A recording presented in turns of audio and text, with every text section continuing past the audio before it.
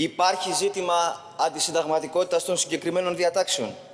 Το είχαμε πει και την προηγούμενη φορά, πριν μερικούς μήνες, όταν κάναμε την ίδια ακριβώς συζήτηση. Ασφαλώς και υπάρχει ζήτημα τη συνταγματικότητα των συγκεκριμένων διατάξεων.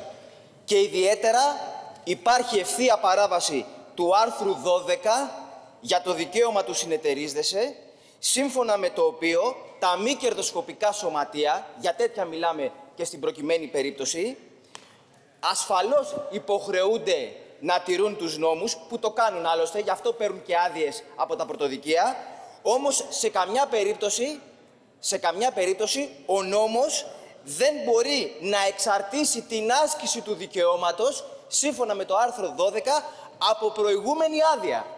Αυτό που κάνετε τώρα. Και με τις θητείες και με την αναδρομικότητα των θητιών, γιατί εκεί εδράζεται η αναδρομικότητα, εδράζεται ότι οι θητείες πρέπει να έχουν ε, συμπληρωθεί και με το όριο ηλικίας. Βεβαίως, εμείς έχουμε πρόβλημα και με το όριο ηλικίας.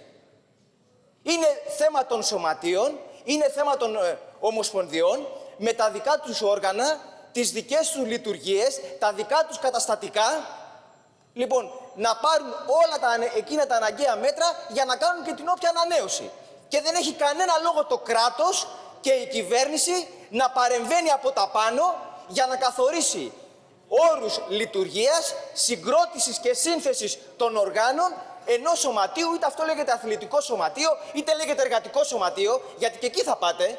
Αυτή είναι η πρόβα τζενεράλε για ό,τι έρχεται στη συνέχεια και σε άλλου είδους ε, σωματεία. Λοιπόν, δεν έχει κανένα λόγο το κράτος. Η ανανέωση στα αθλητικά σωματεία την καλλιεργείς, την καλλιεργείς δίνοντας κίνητρα, βοηθώντας ανθρώπους προκειμένου να ασχοληθούν με τον αθλητισμό και κυρίως με τον εραστιχνικό αθλητισμό.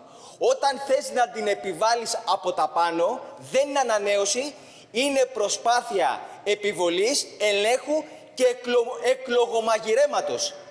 Αυτό είναι που κάνει η κυβέρνηση τώρα. Και με τη συγκεκριμένη διάταξη και με άλλες διατάξεις του νομοσχεδίου για τα μητρώα, για τους προπονητές κτλ. Είναι προσπάθεια εκλογομαγειρέματος εν ώψη των επερχόμενων εκλογών των ε, ομοσπονδιών. Λέτε για το δημόσιο συμφέρον. Από πού και πού επιβάλλει, από πού και πού επιβάλλει το δημόσιο συμφέρον ο πρόεδρος μιας ομοσπονδίας να είναι 71 και όχι 70 ή 69 ή 72. Από πού και ως πού; Ποιο δημόσιο συμφέρον το επιβάλλει; Και αφού είστε τόσο συνεπείς με τις αρχές σας, όπως είπε ο κύριος Οικονόμου, για ποιο λόγο δεν βάζετε και όριο ηλικίας στους βουλευτές, στους υπουργούς και θητείες; Εκτός αν θεωρείτε ότι ο βουλευτής ή ο υπουργός της κυβέρνησης είναι λιγότερο σημαντικός από τον πρόεδρο μιας αθλητικής ομοσπονδίας. Είστε και υποκριτές εκτός των άλλων. Είστε και υποκριτές εκτός των άλλων. Χώρια που τα παραδείγματα με τους Πριτάνης και τους δικηγορικούς συλλόγους είναι άσχετα γιατί αυτοί ασκούν δημόσια εξουσία.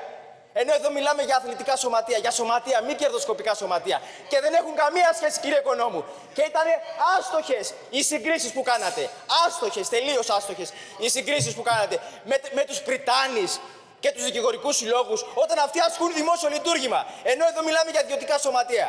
Λοιπόν, είναι αντισυνταγματικό, είναι αντισυνταγματικό το νομοσχέδιο και όλες οι διατάξεις του Γι' αυτό το λόγο έχουν συναντήσει και την καθολική αντίδραση και γι' αυτό το λόγο πρέπει η κυβέρνηση να τις αποσύρει.